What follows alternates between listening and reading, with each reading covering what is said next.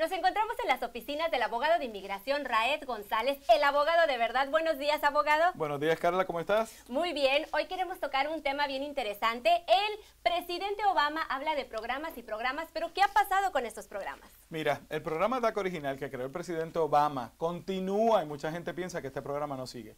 Este es el programa para los jovencitos que entraron a temprana edad, antes de cumplir los 16 años, que pueden probar que tenían menos de 30 cuando el presidente hace el anuncio el 15 de junio del 2012 eh, tienen que probar que terminaron la escuela superior o la prepa eh, y presencia física durante todo este tiempo, hasta el presente. Ese programa continúa una vez más, cada vez que un jovencito cumple años y cumple sus 15 años de edad, califica para el programa. Ahora, el presidente este noviembre pasado anunció la expansión de este programa, donde incluía la edad máxima, no importaba, y aplicaba para todos los jóvenes que estaban aquí desde el 1 de enero del 2010 en adelante creó también el programa DAPA para, para los padres de ciudadanos y residentes.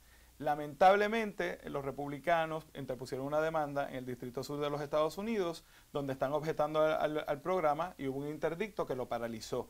La administración de Obama lo está peleando en el quinto circuito, ya dijeron que no era una emergencia y lo van a ver este verano.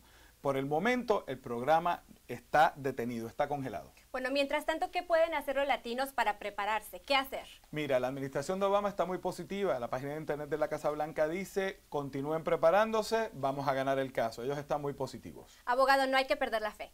Yo creo que todavía hay que mantener la esperanza, todavía se puede ganar, pero también hay una posibilidad de que esto se extienda hasta pasadas las elecciones. Muy bien, para citas llamen al 713-481-3040. O me pueden buscar en Twitter, en Facebook o en mi página de internet con sus preguntas en evitaladeportación.com. Muchas gracias, abogado. Este fue el segmento del abogado Raed González, el abogado de verdad.